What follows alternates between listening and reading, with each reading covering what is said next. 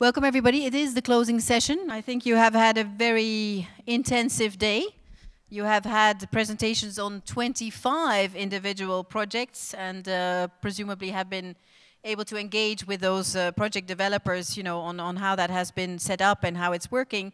Um, and that uh, the whole purpose of today is, of course, to indeed inspire you so that you all go back home and kind of get new ideas for further, further development and further implementation.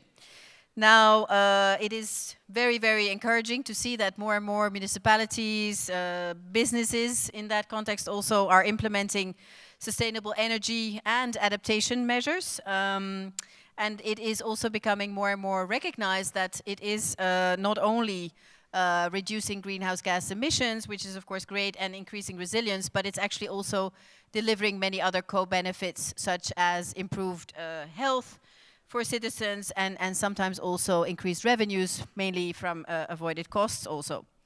So our experience in Europe uh, is actually very, very good. We have been able over the past decades to show that it's not an opposition between economic growth and uh, fighting climate change. We have been able to reduce greenhouse gas emissions already by 23% since 1990, and we have at the same time uh, increased our GDP by over 50%. So that is, of course, a very, very good decoupling that we have there. Now, uh, the transition to a low carbon and climate resilient economy um, is obviously needed if we want to get into a sustainable development of our society in Europe uh, in the long term. Now, as you have been discussing and as we've all seen, there are already many technologies and measures that exist to help cities in their energy transition and also to, uh, to get ready to, to adapt to the impacts of climate change that we already see today. But the key, and I think we come back to this uh, time and time again, is the financing. How do we finance those uh, plans? Now, the Commission uh, has also tried to be helpful and has been setting up many different instruments. I think you have already come across many of those from the opening session throughout the day.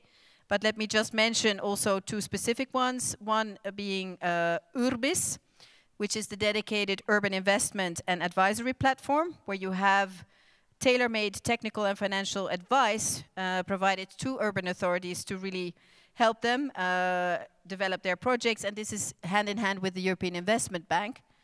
And the other very interesting development that we have finally, I would say, pulled off is that Eurostat has been clarifying its approach to uh, the accounting rules applied to the treatment of energy performance contracts. This was an issue for a long time, and we're very happy that it has now been clarified by Eurostat that you know if you make investments in uh, public assets and improving the energy efficiency, this will not be counted on your deficit side of the of the public um, budget. So that will certainly help uh, public authorities to to go into this. Now, let me just mention that when it comes to adaptation, uh, you may know that we have a European adaptation strategy that was adopted in 2013. We're currently evaluating uh, the state of implementation and the effectiveness of this strategy. There is a public consultation ongoing, as it is supposed to be the case for any evaluation. And this public consultation runs until the 1st of March, so we are all warmly invited to still uh, look into that and because it provides you with an opportunity to tell us how we could actually be of more help or more targeted help to help cities and, and businesses uh, get involved and become effective in this adaptation challenge. But again, as I said before, it is also very obvious that apart from any strategies, uh, measures, what have you, platforms, that it's still all about, you know, how to activate private finance, uh, for realizing the projects on for the many, many cities that we already have as members of the Covenant of Mayors. And of course, we hope to be attracting ever more members. Um, the financial institutions that we have in Europe have to clearly also in this respect increase their contribution to the investment that we need in order to get to this low carbon society. Uh, increased spending on, on climate measures, as we call them, but on the other hand also basically redirecting uh, funds from unsustainable activities. And I think we can all think of certain things where there may well be public budget money uh, going into certain things that are not going to be beneficial for the transition to, to a low carbon economy. And that will also really need to be revisited and redirected.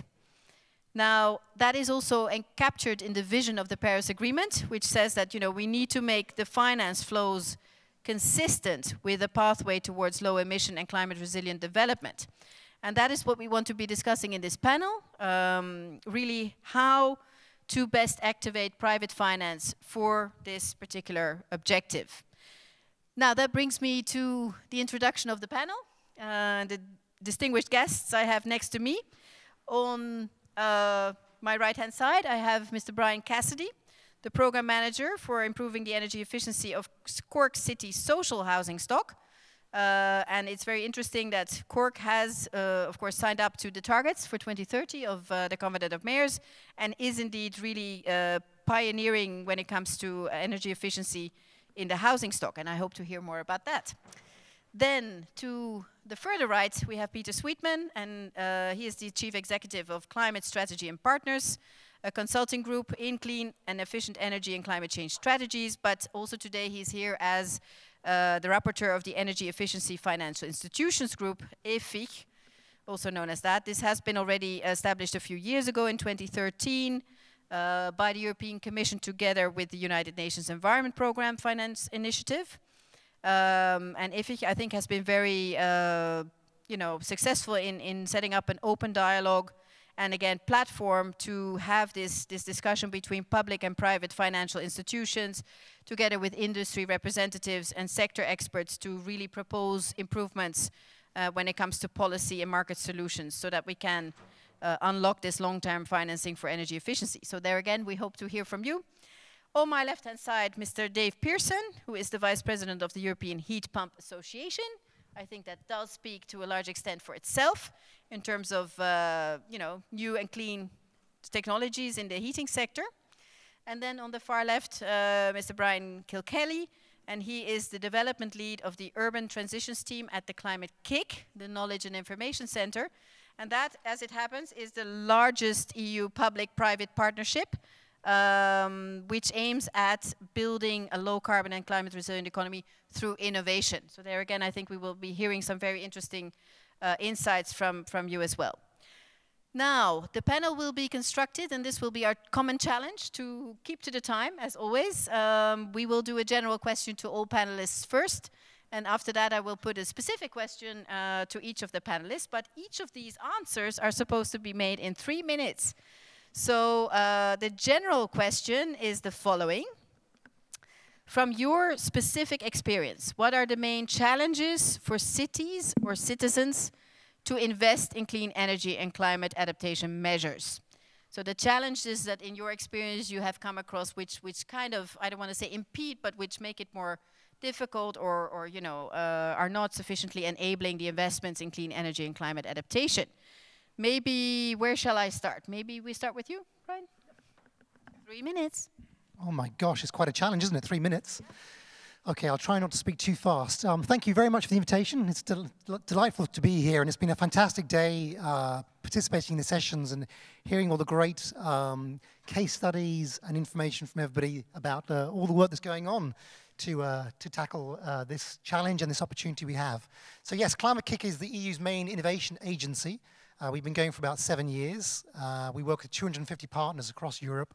Uh, we've launched about 900 startups, uh, educated 1,000 professionals, uh, and leveraged about 2.5 billion of investment um, through the uh, funding that uh, we've been administering on behalf of the EU.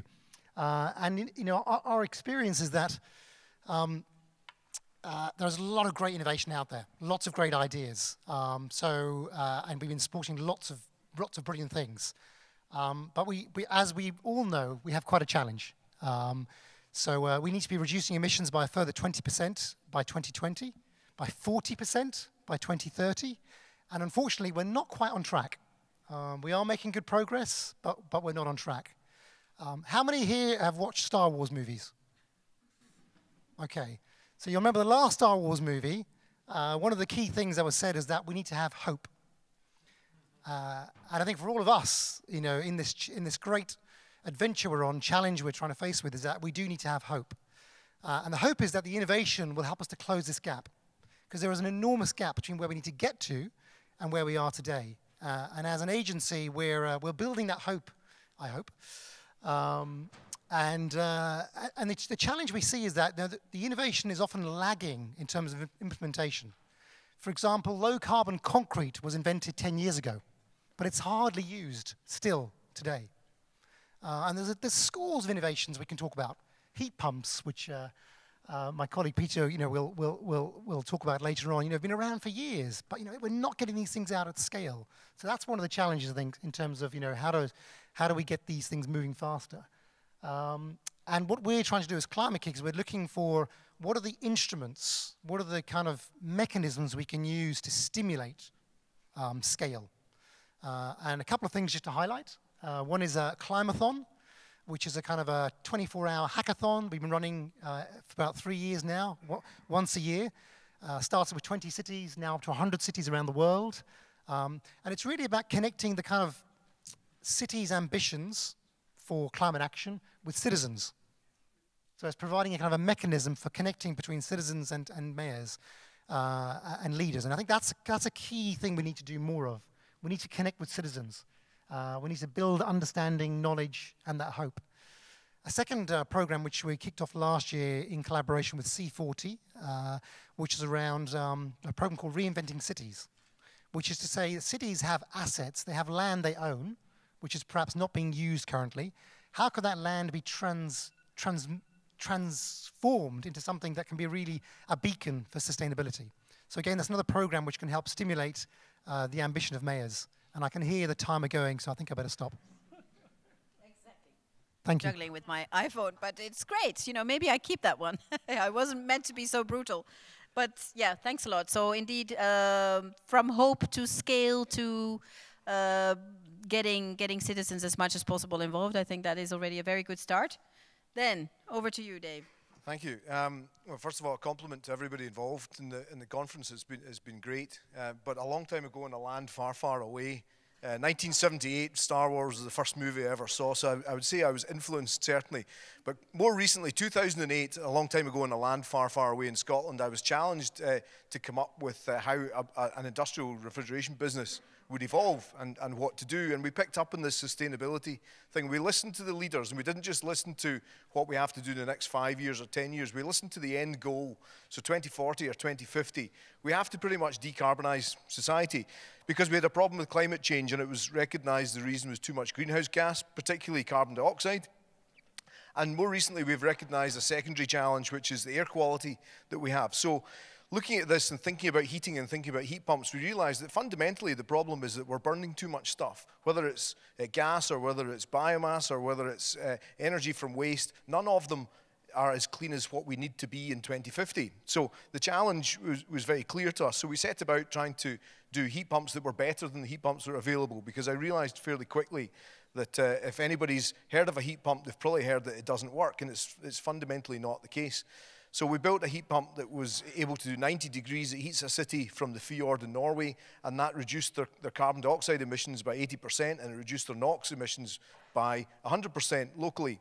So what do we need to do more of? Well, fundamentally, we need to drive the customer base towards this because at the moment, gas is really cheap and it's still absolutely an option. So I liken it to trying to get my kids to have breakfast in the morning. It's a case of eat your cereal, but I'm going to put Smarties all over the table. And then I'm surprised when the children want to eat uh, the candy rather than the, the breakfast cereal. That's effectively what we're doing at the moment, which is to let uh, the kids eat sweets for breakfast. We know what the problem is. So we have to absolutely directly take, take issue with uh, moving forward from what the problem is into a variety of different solutions, but fundamentally, we know what the problem is. So, how, how are we best going to do that? Well, it's either going to be by prohibition, which is effectively what we saw in Denmark over uh, 30 years ago, or it's going to be by taxation. We have to make gas more expensive, or people will keep burning it. If we're going to keep it cheap, then we have to stop them from burning it. This hotel, for example, probably has a gas boiler. Most of the European Commission buildings probably have gas as the main heat source. So it's fundamentally the problem that we know what the issue is, but we're still letting people do it. And you wouldn't let your children away with it. So we have to all grow up a little bit. Excellent. Thank you, Dave. I mean, that's, uh, of course, something that has been out there for a long time already, making the cost of carbon, uh, you know, bite a little bit more. And we have been uh, having an agreement on the reform of the emissions trading system. So the price of CO2 has been going up. We're almost at 10 euros now. But it's true that, you know, we need to, we need to uh, keep this in mind about the different incentives and the moving uh, away from fossil fuel subsidies will be another important uh, discussion that will stay with us. Good, then we can uh, maybe move to Brian. Your views on what are the challenges? Uh, thank you, Yvon. And uh, Dave is that right. The cost of fossil fuels is a big problem when you're trying to uh, introduce energy efficiency saving measures into houses, which is where I work. Uh, just a little bit about Cork. Cork is a city not as far west as Almada, if Katrina is there, so she can hold on to that title. Um, and uh, most of the energy is supplied through private, private companies operating on a national basis using coal, gas, and oil. Um, most of the houses in Cork City, both private and public, are heated by uh, natural gas. But we also still have a sizable element of, of oil and a smaller element of houses heated by coal. Um, for as long as I can remember, and I'm with the council 20 years, um, Cork City has been involved in energy efficiency improve, improvement measures for as long as I have been there, and including measures for greenhouse gas reductions. Uh, in the recent past, uh, in terms of its public buildings, it has con invested considerably in LED lighting, and in uh, both in the streetscape and in public buildings. And these are being paid for through uh, a pay as you save scheme. The city is also a social housing provider with 9,000 social houses. In the last four years, 25 million has been, or the last five years, 25 million has been invested in energy efficiency improvement works uh, in the social housing in the city. Um, that started off with a, program of attic and cavity wall installation because we decided we would take an incremental approach as distinct from uh, a deep energy retrofit approach straight away, as we felt that would spread the benefits uh, wider across the city and particularly among the social housing network, where most of our tenants would be considered to be in, in fuel poverty. Um, so all, all, our eligible properties have now received attic and cavity wall installation. Uh, at the moment, our stats show that we have uh, over 600 properties that would be rated as B3 or above under the energy rating scheme. Um, and Dave would be delighted to hear this, over 400 of our houses now have heat pumps. So we're, we're moving up on that scale as well. Going to support the industry as best we can. Um, in terms of our national regulations, all new properties will be will have to have a minimum of the NZEB standard or the or the A3 standard which is the same. So what are our challenges for in terms of investing in this industry? Um, cheap fossil fuels, as I mentioned earlier, is the biggest challenge, and it is like the Smarties and, and the cereal, you know. A bit more Cocoa Pops, because as everybody knows, the children love Cocoa Pops, no matter what good breakfast cereal or breakfast product you put out there. Porridge is out the backyard for the, the elder people, but Cocoa Pops and similar products are, are what they like. Um, personal debt is an issue. People who would like to improve have high personal debt. Uh, it's, it's, we're coming out of the Great Recession, what we would probably call it, that started in 2008. But there's still a high level of personal debt, so people who have properties are reluctant to invest until they get that uh, debt down. There's also a personal awareness factor, um, partly caused by confusion. Am I saving money or am I, am I improving my house? Personally, I like to think I'm improving the house. I'm not necessarily saving money. It's an added benefit, but it's not the main, main rationale. And th sometimes that emphasis on savings can, in, in my own personal view, act as a barrier to the actual investment. You don't invest, uh, if you were building on a garage to your house, you do it because it benefits you as you view the world. You don't do it because you're saving money. Similarly, people who do house extensions or do other improvements to their houses, they're not saving, saving money, as, as Paul Kenny alluded earlier. They're investing in their house. They know that not only do they get the comfort value, but if they should need to sell or want to sell their house later, its market value has increased. And we should bear in mind, we have been here before. And this, this is another iteration of the home improvement sector that began over 100 years ago with running water, electricity, sewage, heating, and now energy. Thank you. Thank you very much. Home comfort is indeed a very important one. I think that's true, but we try to use any argument, and the savings, of course, we'll keep in our toolbox to also mention. Peter, from your perspective, the challenges. Thank you. Um, so uh, I recognize this is the last session, so uh, I'll be as brief as I can in the three minutes provided. So I'm very happy that um, 424 people have come to a marketplace because in finance terms, we love the idea of supply and demand. And I think that clearly cities demand two thirds of global energy. They produce 70% of greenhouse gases, and of the 70%, about 40% come from buildings. So, um, uh, where I see the opportunities is cities have uh, a direct energy use, and uh, I happen to chair a business that helps cities fund the replacement of lighting systems, for example. In countries, I'll take Spain as an example because it's where we're based, only 10% of the, of the public street lighting systems have been changed for LEDs, and typically LED lighting systems can save 80% of the, of the value of the energy cost. In, in, other words, and they can provide lots of fun gadgets and technologies so that the city hall can be aware of the maintenance issues, it can reduce maintenance costs, it can make these systems more um, easily managed and so on. So there's a really, sort of on the one side, direct energy use can be addressed immediately and it can be done through a plethora of financial instruments which are currently available, supported by both public and private sector organizations. Then the role of cities is how do cities facilitate, and the way I sort of describe this is help to renovation. How can a city facilitate that its citizens have a right to a comfortable, warm, dignified home, for example? And I think that that is an opportunity where this is um, something, this has got to do with planning. It's got to do with the availability of the right skilled resources to upgrade homes. It's got to do with the right timing of the provision of financing offers. So, for example, it's no good offering financing to somebody not planning to change their home. You've got to offer the right financing solution at the time where somebody's planning to do something to their home. Now, if they're planning to, to, to install a new kitchen, then perhaps the, provi the provider of those funds could ask at that point in time whether there was an energy efficiency upgrade that could also be achieved and whether that financial institution would consider the increase in the value of the property, which you've just remarked upon, um, as being something that they could lend against or lend more against so that the, so that the individual or the, or the family can invest in those energy efficiency measures. So I think there are a number of things in terms of, again, there are, there are a number of areas where we can improve. And I, I do exhort, I think that as cities, and I look through the, the, the list of the people who've attended, a lot of you coming from local authorities, from city uh, um, uh, halls, I do think that you can perhaps more actively just go out there. You know where the bank branches are in your towns and cities. Just go out, collect them together, bring them into an, bring them into an environment where you can have an open discussion. EFIG, the Energy Efficiency Financial Institutions Group, did, had technical discussions, so we can discuss heat pumps, we can discuss financial instruments, in an environment which allows policymakers, financial institutions, and energy efficiency market stakeholders to really come together and talk freely.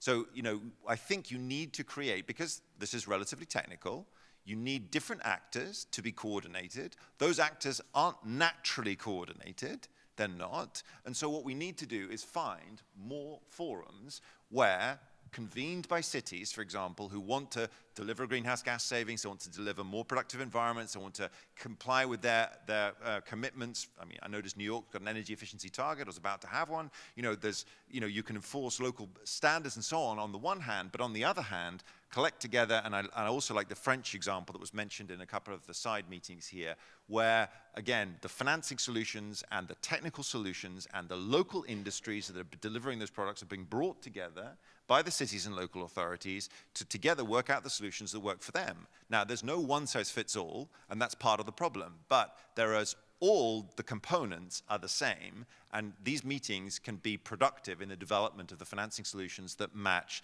the physical solutions. So that would be my recommendation. Very good. You've gone well beyond the challenge in, in starting to talk about the solutions, which is, of course, why we're here.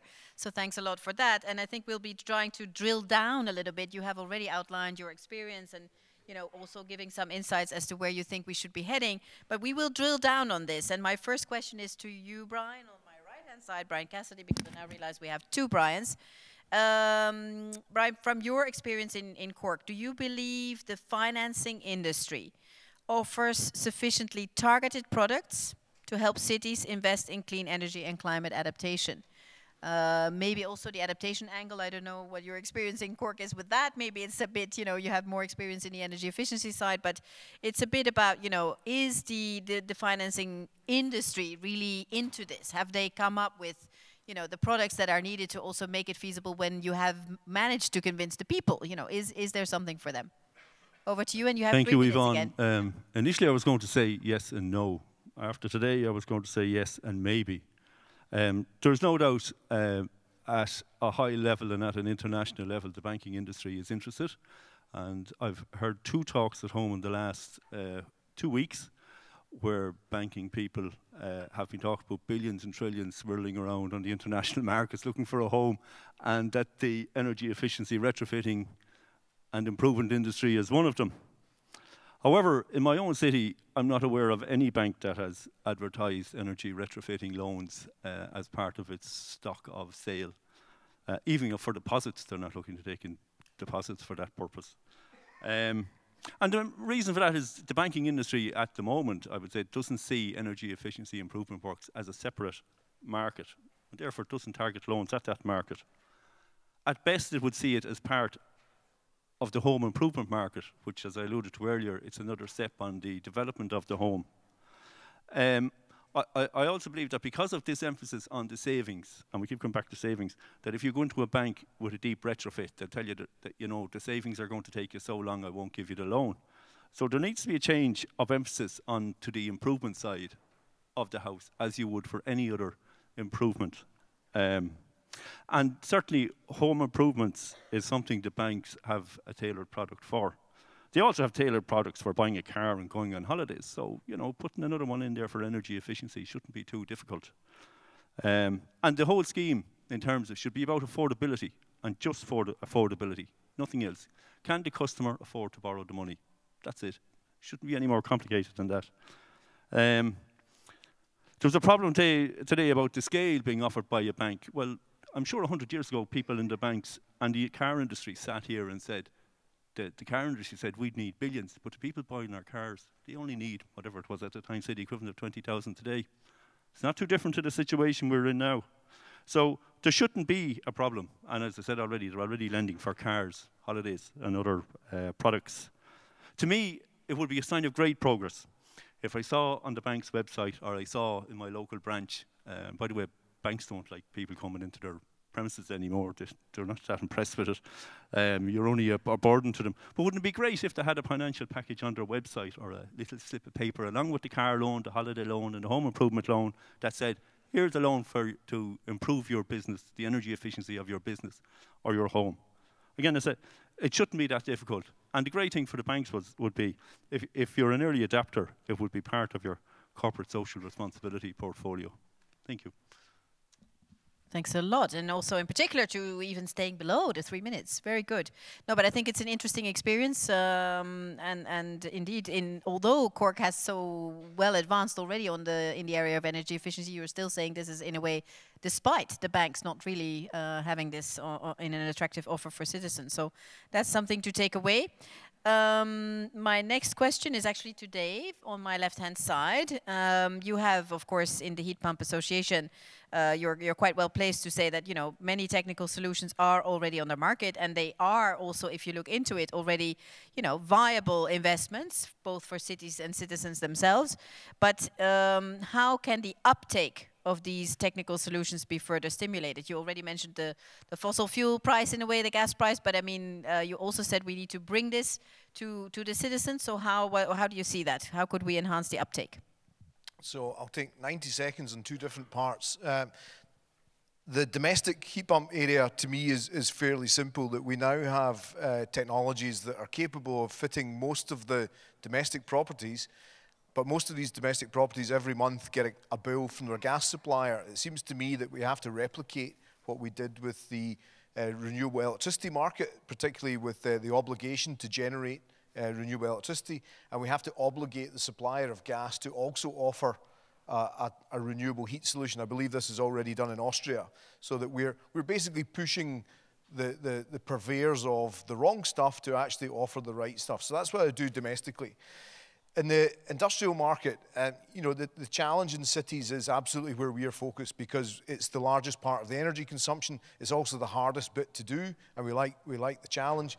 And you couldn't fit individual heat pumps in every single building of, of a large city for a variety of reasons. So we recognize district heating as the solution for the cities, and therefore the district heating has to get its heat from somewhere, and that's why we focus on the rivers. So in, in Cork, for example, there will be more than ample heat in the water to supply heat for district heating uh, to all the buildings. So in terms of wh why that would be fundable, and it's a bit like sitting in this room, if, if this was the river down here and we decided to have a heat pump, I could only get the financiers, who are fairly simple people, and I don't mean that in any sort of uh, uh, slant, but they will lend you more money than you, you possibly want, provided you promise to give it back to them and give them back more than they actually gave you. So it's a very simple relationship. But they will only lend you money if you can give it back to them, and you can only give it back to them if you actually set up a business that actually sells. So if I want to sell heat to every single row in this room, then somebody either has to make that financially uh, an absolute no-brainer, which is going to be very difficult, as we said, or we have to have the cities, and this is where the Covenant of Mayors come in, we have to have them saying, look, we take responsibility as the, the adults of the house to say, this is the problem that's going on in our house. It is burning gas in the cities. It's apparently 40% of the NOx emissions in London is from burning gas, not from transport or taxis or red buses. It's from burning gas for heating. We have to say to the buildings, you're going to have to do better because uh, effectively we're allowing people to, to pollute our environment absolutely unchecked. So we have to bring a little bit of a mum and dad strong arm to the whole situation and really get all the buildings to, to uh, to, to do something which, frankly, whenever we speak to industrial customers, your food factories, and we say, here's an energy efficiency um, opportunity, they'll say, well, can I get my money back in less than, less than three years? It's not what businesses do. These are not long, these are not short-term plays. They are likely to be 10-year investments. They're going to take some time, and so we have to really set up the situation where the customers will come, and therefore the finance will come, and therefore the projects can get built, and we can do lower carbon, lower NOx, we can create jobs, we can stop exporting our cash down the gas pipe, because um, that's effectively what the European Union is doing. It's a billion euros a day of gas imports. So we can draw all these things together for the benefit of society, but we just, we just need to uh, grow up a little bit, I think. Thank you very much for that interesting. I think if we put you on, on national TV, you know, the pitch would be very, very good.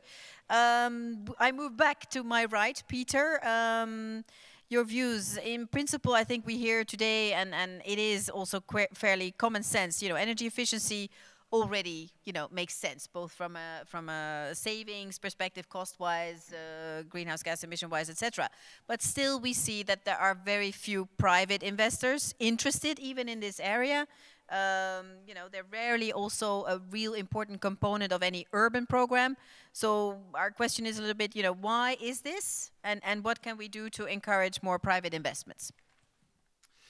Thank you. Um, so first of all, to, to, to frame my answer, um, I popped out th this morning and, and, was able to listen to the sustainable finance discussion in the European Parliament. Why is that interesting? Well, that was interesting because the high-level energy, uh, high-level expert group on sustainable finance produced a, a report, and in that report, it stated that investors' combined exposure to carbon-intensive sectors is roughly 45%. And less than 1% of global institutional investors are green infrastructure assets.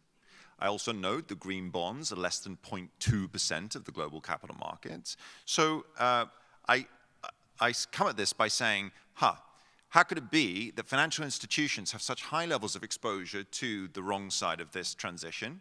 And how is it that in Cork, they offer car loans and uh, holiday loans and all kinds of loans, but they're not offering the kinds of loans that we need to get the buildings on the track that's necessary to deliver us a carbon-free um, e economy in 2050. Hmm, that's a big issue. So I think, uh, so first of all, it's not that the money's not there. So one thing I wanted to point out is that there's a great uh, piece of work done by the G20's Energy Efficiency Finance Task Group, which is called the Energy Efficiency Investment Toolkit. And what it does is it maps $220 billion of integrated energy efficiency expenditure across the world, private and public sector.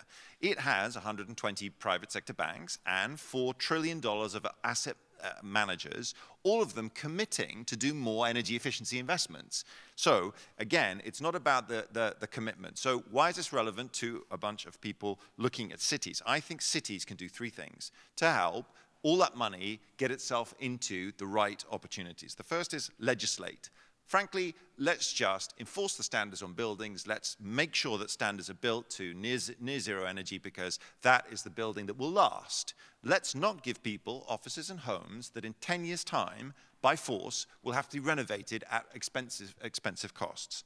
Um, the, sec the second thing was let us establish targets and goals that can align our industries in our mission. If our city's mission is to have energy efficient buildings, let's just establish what they are, figure out a baseline that takes us to 2050, and then work to that, because I think people respond to a challenge. And the third thing, and the most important thing which I mentioned earlier, is let's assist our owners of buildings to have the right tools that are necessary to be able to deliver that. Let us not force that challenge down to the poor stressed family owner who's got 101 things to do, including clear up the Cocoa Pops and the, and the spaghetti and, and, and all the other things that people are trying to eat for breakfast, and force them while they're at it to figure out how to renovate their home and how to fund that. All of those tasks added up to one another just is too much. I think that the private sector can, should play a greater role, and that, and that, that will happen through pressure, top-down pressure. In other words, no uh, you know, no, you shouldn't have 45% of your balance sheet on non-transition assets. You should be in agreement with the Paris agree the, the, aligned with the Paris Agreement, and therefore you need to do more building renovation work. And as a result, products will come out, customers will be served, and we can deliver to our building stock in cities. Sounds good. I think we will come to the audience in a moment to hear, you know, how, how from the city's perspective uh, this is observed. And also uh, the last targeted question, I move to, to Brian on my left-hand side. It's a little bit uh, the same question in a way because it's all about, you know, and you have said you've been rolling out, you know, all kinds of specific projects um, where maybe you have formed a view how cities can attract this private investment in clean, in clean energy and climate adaptation. Does this match what Peter was just saying, or you have a very different view? Uh, no, it's, it's, a, it's a very similar view. And um, uh, I think Peter's absolutely right that we have to be we have to be mindful of what we're asking people to do, this kind of pressure down. Uh, and, and, I think you know my, my answer to this is that in our experience as Climate working with cities and working with the private sector and some of the leading universities in Europe in getting innovation to market, is that actually for cities, um, there just isn't enough people. You know, there just isn't enough of you. All you city folks out here, you know, who are working in this area, they're very stressed departments, and they're actually being more stressed and reduced. Uh, we're working with the city of Birmingham in the UK, and like in the last few months, virtually the whole of their sustainability department has just been closed down. Just because cuts, severe cuts, austerity, and across Europe, you know, the, the resources are incredibly squeezed. I mean, it's not universal, of course. Some cities are doing really well and have found ways to resource these things. But our experience is that you know, we need to make systemic changes to cities. So we can't just make little changes here and there and a bit of efficiency here and a bit of efficiency there. We need to make major changes. You know, this requires different business models, different ways, different collaborations. So Peter, your, your point about, um, you know, bring the banks in, bring the energy efficiency companies in, create that forum. You're right, but who's going to do that in the city? Who's got the skills to do it, the time to do it, the mandate to do it? So um, you're absolutely right. Th that would be incredibly helpful. Um, so I think you know, that's a real challenge we find is that you know en engaging with these cities, and the cities also find it hard to hold on to some of their brightest people. Mm. And things are moving very fast. So it's a fast-moving area. It's a it's a challenging area. So I would say you know we need to help cities find ways in which they can up the resources um, participate in the uh, returns being generated, because for sure, as we've all agreed, there's money to be made here. Uh, and actually, the, you know, what we're looking at as Climate KIC is how can we recycle some of the investment that is created and the value that's created back into um, enabling that investment to happen again. So, you know, what we find is that, you know, we, we see some great projects, returns are made, very clear cuts, if we can capture some of those returns, and there's a variety of financial mechanisms to do that, recycle that back into the resources, then we've got a chance of hitting these targets. So, um, you know, it's not technology we need. There's great technology out there, um, but we're not getting the technology to market fast enough. And the challenge is when you go and talk to the cities, it's hard to find the people to talk to who understand this. And it's hard to get those, those people together. So need, we need more people, is my answer. Thank you. Thank you very much, Brian. I mean, uh, I, I, was hoping and tempted to ask whether it's a difference when a city has signed up to the Covenant of Mayors and has actually made this commitment to uh, to reach the 2030 targets and go beyond. Because I presume that when a, a, city, you know, council takes this commitment, that there would need to be the people to actually achieve this. But I don't know. I mean, and there, I was wondering whether Birmingham is a member of the of well, the Covenant of Mayors. I mean, they, um, I don't know whether they are or not, but they, um, you know, very very committed um, city on the targets, but still, you know, they have to make some pretty tough decisions around, you know, where they they got budget on social care and healthcare and all these various things. Uh, sure. But I think it does make a difference, and I think you know the other the other challenge cities have, um, the city leadership is um, they maybe are prepared to take one or two risks in a year in terms of projects and taking sticking their sticking their neck out and saying we need to do this. Actually, cities need to make dozens of risky decisions, perceived risky decisions a year as well. So that's another thing we need to help them with. Is we need to help them to be brave enough um, to uh, to make those those those decisions, which are perceived as risk.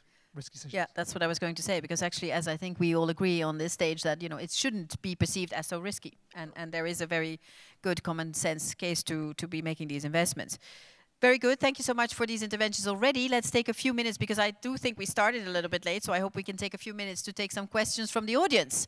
Now, we'll need to be uh, diligent also in that. If I can see some hands of people who would like to ask a question, you would need to give us your name and organization, and, and of course, also, if possible, keep your questions short. Who would be interested to put some questions to the panelists? Maybe challenge them a little bit further it all sounded like, you know, it should be easy.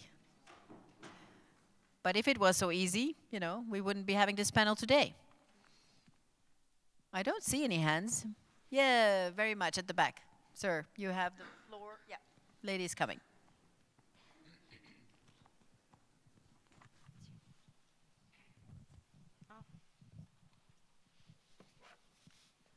Thank you. Uh, Andy Deacon from the City Network uh, Climate Alliance, uh, working with small and medium cities on both adaptation and mitigation. Um, a, number of the panelists have, have, kind of referred to the important role of cities. And uh, the European Parliament's Constitutional Affairs Committee um, is starting to look at the role of cities in delivering on the Paris Agreement and kind of changing the way that European institutions, whether that's the budget committee, uh, thinking about future structural fund spending, the role of organizations like Eurocity, CMR, Climate Alliance, um, and others, to get more formal recognition of the important role of, of cities in helping to meet this agenda. Kind of what is panelist view on that? And kind of where do we best formalize that role to deliver on our climate ambitions? Thank you. A very interesting question indeed, and then broadening it to indeed the role of, of cities and subnational uh, authorities in in uh, having access to EU funding and of course other funding as well. Who would like to comment? I, th I think it's a great question, and I think it's uh, it's great to hear that there's the constitutional role of of cities is, is being looked at. For me, it's very simple. Um, if we've got a collective target, then we break it down and everybody has to achieve their collective individual part of it. So if uh, the Paris Agreement is 80% decarbonisation by 2050, then everybody in this room has to decarbonise by 80%. So the maths is very easy as well. So each city has to, to achieve that. And, and if they don't have a plan to achieve 5% every year for the next 20, 30 years, then they're going to fail. So we should be we should be picking out the people that are looking the, the, the troublemakers, the ones that are going to fail now, because if they haven't achieved 5% in the last year, they're unlikely to achieve 5% next year or the year after, the year after that. And in reality, big projects take two or three years to get going. So basically, unless their target in three years' time is to have achieved about 20% saving, then they're, they're not on the right path and we should spot that early.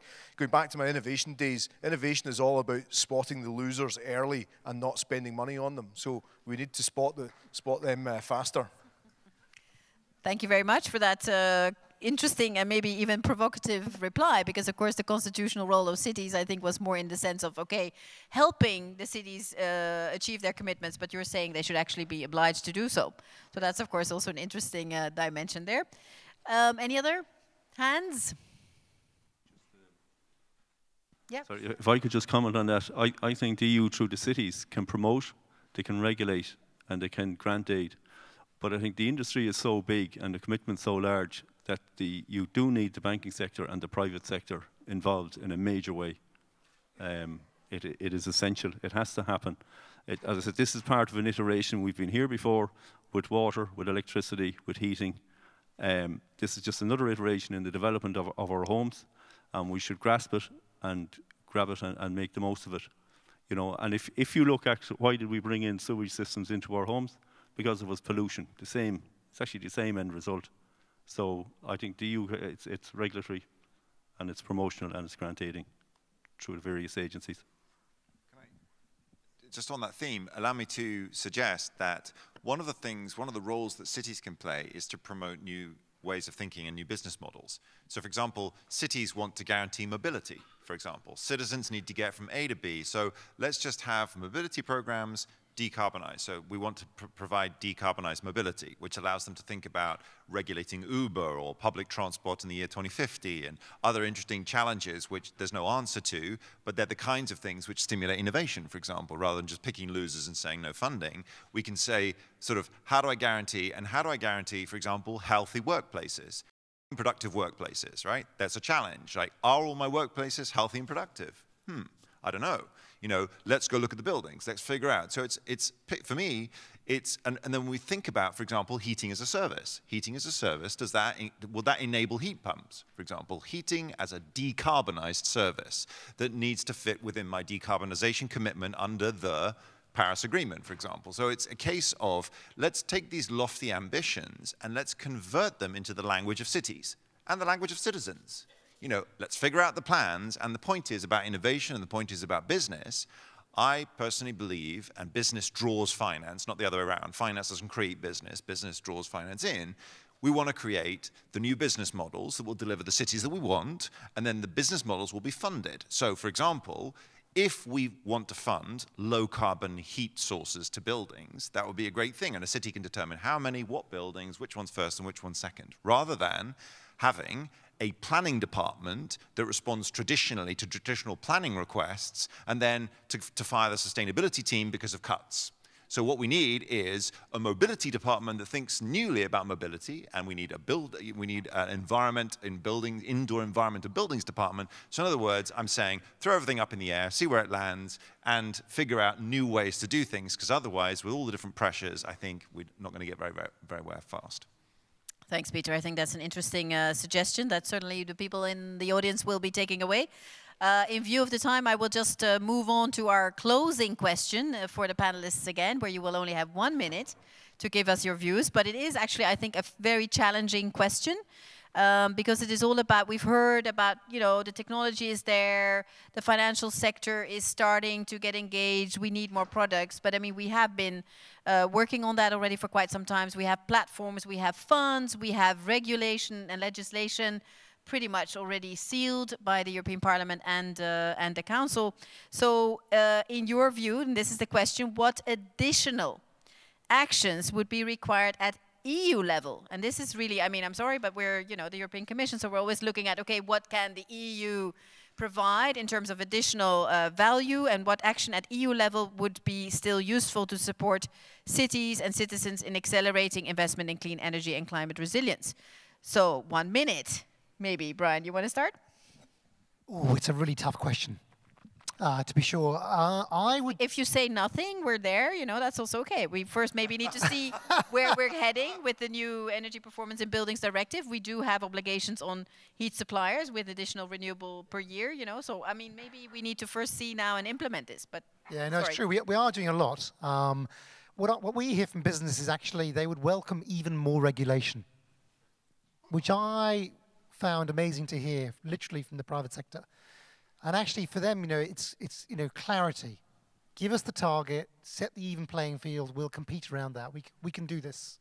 So I, I think businesses actually and uh, are, are um, are, more, are, are ready to be more ambitious.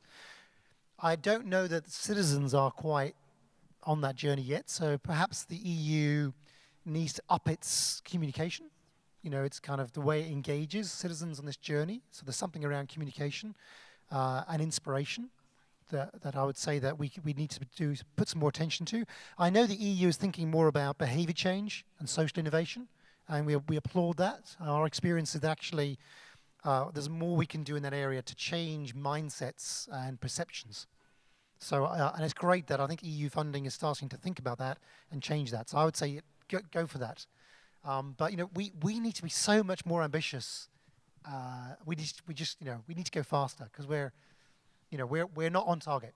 Uh, we need to be more ambitious. Thanks, Brian. I think that is probably that is definitely true. But I mean. Um, I think it's a very pertinent point about the communication and, and, and you know making this clear that we're on this journey together to the citizens so that we can actually increase this ambition because without that we'll not get there if the citizens are not convinced. Um, Dave, your views as to additional EU action. And again, I have to say the legislation has just been reviewed and has just been agreed, so I don't think we'll get another chance at that anytime soon. Okay. Well, I, th I, think there probably is a lot in the pipeline that's that's coming along. Um, for for me, um, you know, particularly in the UK, uh, we, we've, we've had quite significant uh, carrots in terms of the renewable heat incentive, and it hasn't really moved the market for, for heat pumps. So uh, that came from the European legislation. I think what we, we need to see are more sticks. Um, I think at the moment uh, we've got some very weak, um, you know, carbon legislation in, in that respect. But if I could change anything, it would probably be adding, adding tambourines into this mix. So carrot sticks and tambourines. We need a little bit of uh, publicity. Has anybody from the European Commission stood up and said, within 20, 25, 30 years, we have to have phased down the use of fossil fuels? I don't think that really is the message that's out there because if it was, if it was, then uh, we, we would see people beginning to plan for that. And at the moment, it seems to me that business as usual is, is absolutely what the citizens are, are, are seeing from this. So I think um, a little bit of uh, future gazing. We, the goal is good, the goal is well stated. There's a lot of policy, but I think breaking that policy down into these are the steps that we collectively as society will be taking over the next 20 years. So give us, give us a little bit of a, a story for the next 20, 30 years. Okay, uh, communication and the story and the tambourines. I think it is well put. I mean, we, it's not that we haven't been saying it. We have been saying it, but uh, fossil fuels subsidies phase down is one of the big issues out there. And of course, we discuss this with member states uh, because it's not something that we set at EU level, and we're doing our best with our increasing the carbon price. Uh, but yeah, the tambourines I think is a is a nice one. Um, Brian, you want to? Uh, thank you, Yvon. Um, I, I, think it should be made less complicated. Um, at the moment, when an energy efficiency up deeper, but deep one particularly is undertaking, the level of technical expertise and knowledge and calculations and sums that are done is, is quite onerous for a homeowner. And there must be a way to make it less onerous. So if I want to externally insulate my wall, I shouldn't really be too worried about how many greenhouse gas reductions I'm running. That's a central statistics eh, requirement, you know, that, that national governments, cities, national governments and the EU want because they want to show how much they've reduced it. But for Joe Soap in the street trying to do um, an improvement to his homers, it's, it's not really an issue what his greenhouse gas reductions is. Now, the other side of that is that because of this emphasis on savings, we're not really getting a message across, which is, and I think this is an EU responsibility, it's about greenhouse gas reductions and protecting our environment. And I, I think we need to get back to that in a major way, that that's what we're at. That's what the end game is in, in, in this industry. And the others are all side benefits, the savings, the improvement quality of life, etc they're, they're the sideshow. The main one is the greenhouse gas reductions. As I said, we did it in the past when we brought fresh water to the home, we brought electricity to the home, we brought sewage plants to the home. That was all based on environmental requirements, and people didn't get lost in, in calculations such as the, the kilowatt hours of electricity that we're going to consume or the population equivalent for a sewage plant. So I think we need to get back and, and make, take steps to make this easy for the homeowner to do. Thank you. Uh, very interesting indeed, because you've been doing it. So I think learning some lessons there from what you have come across is very good. Peter? So first, first of all, of course, uh, Europe um, has genuinely a world-class package of legislation in the energy efficiency and uh, energy in buildings arena at the moment, um, which I uh, think delivers high um, the, some of the lowest, some of the lowest energy intensity of um, many global uh, nations that are equivalent to Europe. So therefore, clearly there's something that's going right. The thing I think that the Commission could absolutely do is um, the high-level expert group on, on sustainable finance said that there is a gap of 130 billion euros every year, which is just for energy efficiency, just in buildings. So any of you in the audience hear the, hear the term green or sustainable finance, you should realize that 75% of those letters and those terms refers to energy efficiency in European buildings. So when the Commission writes an action plan, and when that action plan, as a response to this very excellent report, which on page 59 mentions the group that I rapporteur, the EEFIG uh, group, um, we need to think about how banks can be asked to identify which of their loans and assets are green and which are not green.